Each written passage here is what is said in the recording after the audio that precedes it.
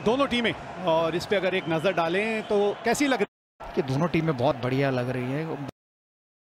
और ये जोड़ी जिसको जल्द से जल्द तोड़ना है अगर ये मुकाबला जीतना है। तो चलिए पहली गेंद इस मुकाबले की।